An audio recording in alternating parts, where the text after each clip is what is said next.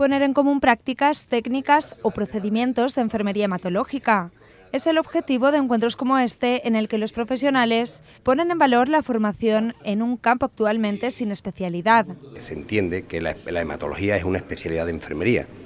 Un enfermero que recién terminado tiene mucha teoría, pero no tiene la capacitación, así lo, vemos todos, para estar ante un enfermo con unas características especiales como es un enfermo hematológico, un enfermo que está recién trasplantado, por ejemplo, ese enfermo necesita unas atenciones que no son las atenciones que nos están enseñando en la universidad, porque la universidad no nos enseñan todo, en la universidad nos dan las bases para que sigamos aprendiendo. Es un área de conocimiento eh, y la lleva una asociación muy activa, una asociación que lleva más de 20 años funcionando, que renueva los esfuerzos pues de formación, de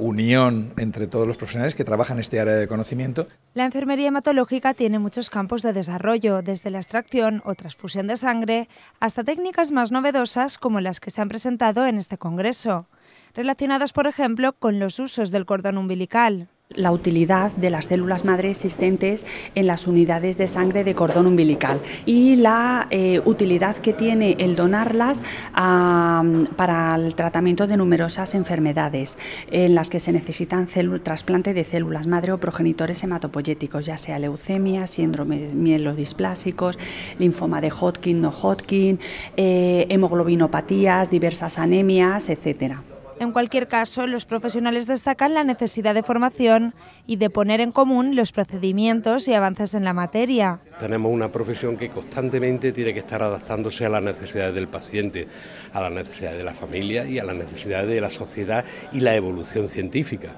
Por tanto, para, dar respuesta adecuada a todo eso requerimos de una formación, una formación constante, continua, en la que se nos permita de alguna forma aportar, recibir, pero también aportar. Tras 20 años de empuje de la Asociación por la mejora de las prácticas y de la atención al paciente, se sigue mirando al futuro.